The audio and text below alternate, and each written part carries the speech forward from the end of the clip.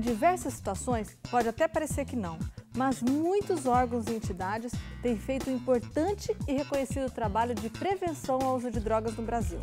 O Departamento de Narcóticos da Polícia Civil do Estado de São Paulo, o DENARC, é uma dessas entidades de renome que tem trabalhado a prevenção ao uso de drogas, através de palestras, conscientizações e não somente o trabalho de repressão.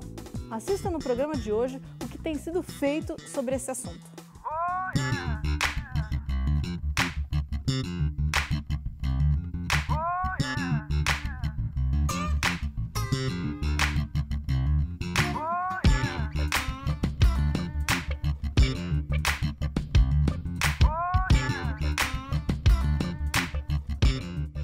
Qual é a função do DENARC? O DENARC foi criado há 23 anos como departamento com a única função exclusiva de dar combate às grandes quadrilhas de traficantes e apreensão de grandes volumes de droga. Essas atividades de varejo, vamos dizer assim, da venda da droga nas biqueiras, nesses pontos de venda pela cidade, aí compete tanto a Polícia Militar, esse combate específico, quanto as delegacias territoriais que estão situadas nestas áreas que efetuam realmente este combate. Ao DENARC cabe investigações mais demoradas, investigações que você procura identificar realmente aqueles que comandam o tráfico de entorpecentes, que é um tráfico internacional. As drogas vêm de fora do país, aqui para dentro do nosso é, estado, principalmente São Paulo, que tem um grande consumo. Então, essa é a razão da investigação. E as investigações são desenvolvidas, às vezes, até em alguns meses e até anos. Nós tivemos casos de grandes apreensões aqui, que as investigações se desenvolveram por um ano e dois meses, um ano e meio. Outras normais são de seis, oito meses. E só para ter uma estimativa, nós fizemos uma avaliação este, esta semana com referência às apreensões. Em termos de apreensões de drogas neste ano efetuadas pelo DENARC, nós já causamos prejuízos aos traficantes de 147 milhões de reais que eles deixaram de vender das drogas apreendidas. Fora os veículos, é, aeronaves né, que foram apreendidas.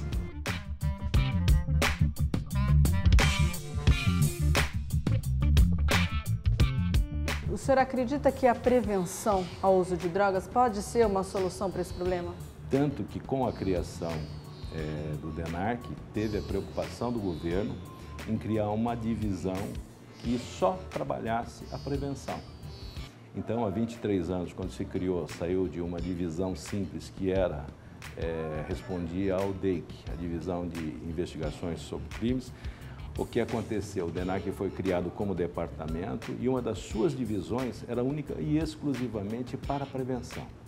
Se fazia prevenção de que forma? Com a criação nós trabalhávamos no relacionamento com o público externo, levando a informação a respeito das drogas, o malefício que as drogas causavam e todo o envolvimento da droga na sociedade. Relação de jovens, relação com os pais, relação com os professores.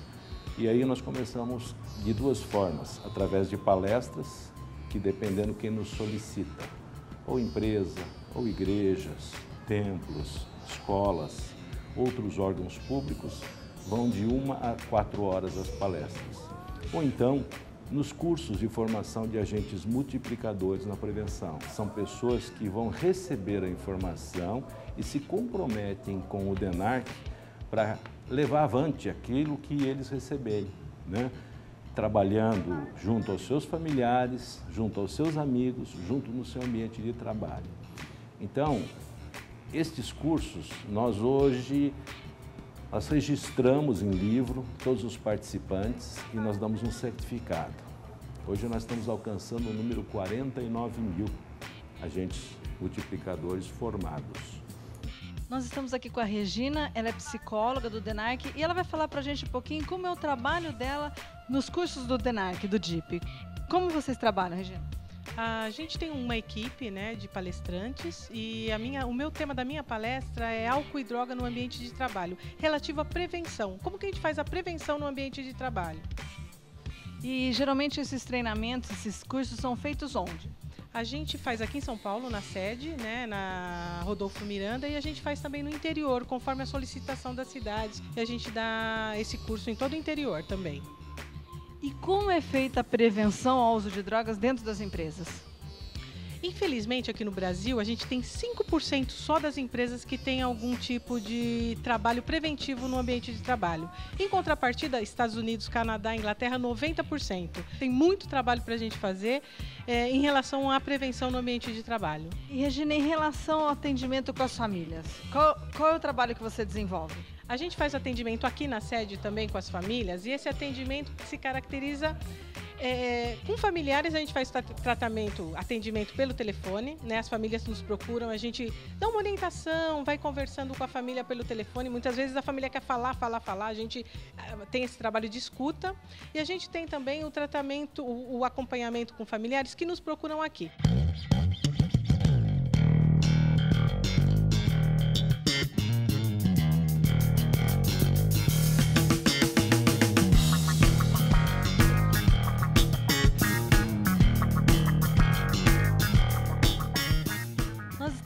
DENAC com Márcio Rodrigues, que é investigador de polícia e também professor do, do curso da DIP.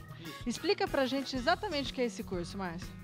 O curso da DIP é um curso de 5 horas por semana, 4 horas por dia. E esse curso é o curso de capacitação de recursos humanos para a formação de agentes multiplicadores. Cada palestrante, investigadores, delegados, escrivães, tem um tema específico. O meu tema específico é a responsabilidade dos pais para com os filhos.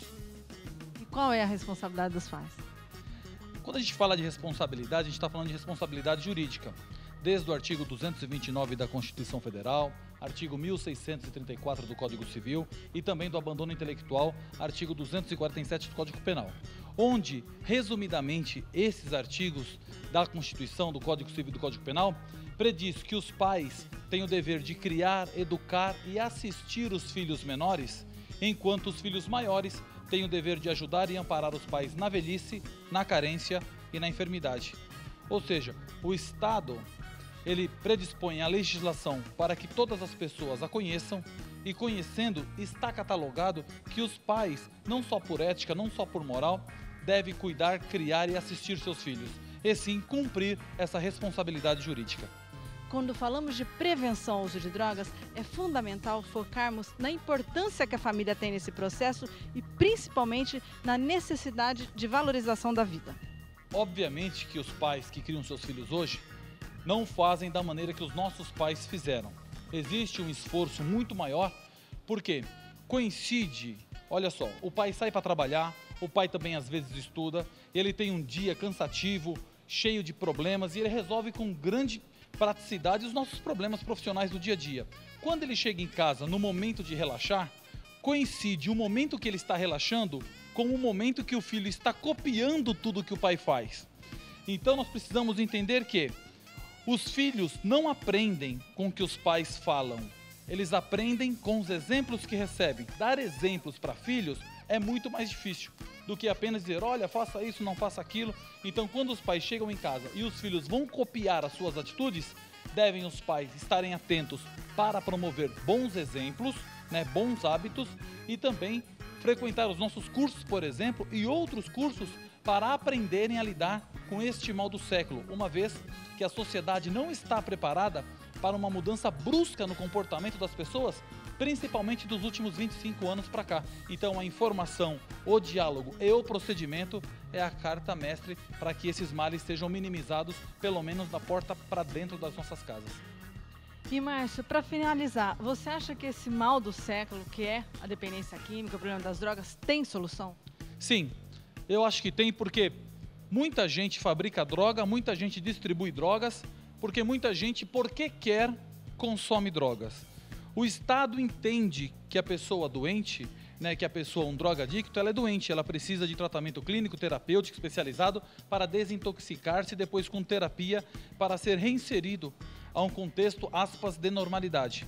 Porém, nós não podemos deixar de citar que na primeira vez que foi usar, ele estava de cara limpa, não é?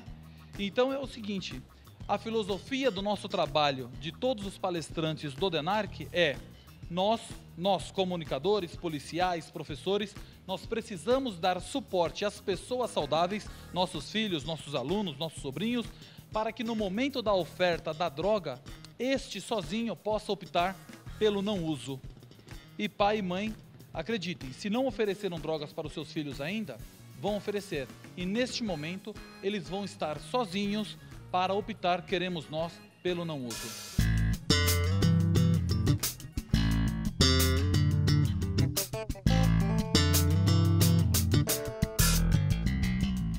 Um lugar interessante para se conhecer aqui no DENARC, em São Paulo, é o Museu das Drogas. Aqui tem materiais apreendidos em tráficos, tem tipos de drogas que são usadas, que foram usadas e materiais interessantes, curiosidades.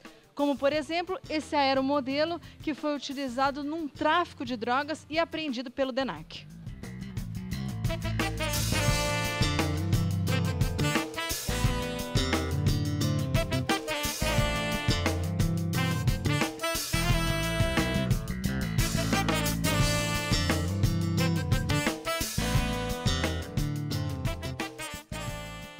Nós estamos aqui com Alexandre Avilés, ele é investigador de polícia e professor dos cursos de prevenção ao uso de drogas do DENARC.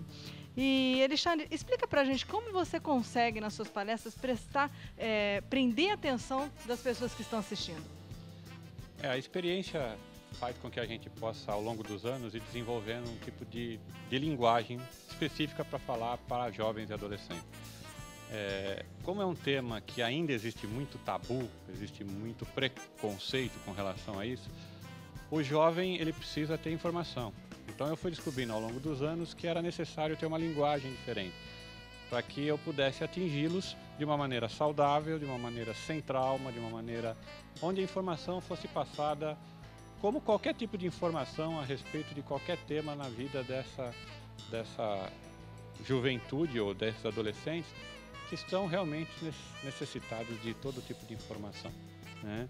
Exemplo, esse aqui, por exemplo, como que você trabalha esse material aqui nas palestras? Então, porque falar que o álcool é, é uma droga, hoje inclusive é problemático, porque a sociedade aceita e ela é legalizada a partir dos 18 anos de idade. Então, o adolescente acha que beber é algo normal também e não sabe o perigo que isso acarreta para sua formação.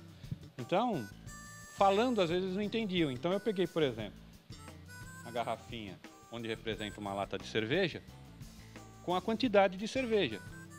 E fiz a separação, né? no caso aqui óleo e água, mostrando para eles que 5% de todo o, o conteúdo é álcool. E para adolescente isso é muito, porque eles ainda estão num período de formação, de fígado, de rim, de coração, de pulmão, de órgãos.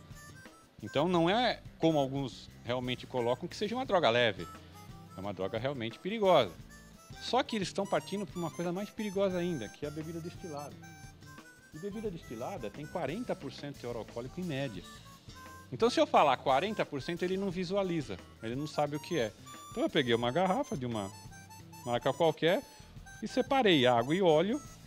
O óleo representa o teor alcoólico. Isso dentro de um corpo humano e de um adolescente realmente pode trazer um problema muito sério de intoxicação. Então, eu trabalho muito a curiosidade, né? A questão da minha caixinha também, né? Que eu de repente mostro para eles. E aí a coisa, eles ficam questionando o que teria dentro.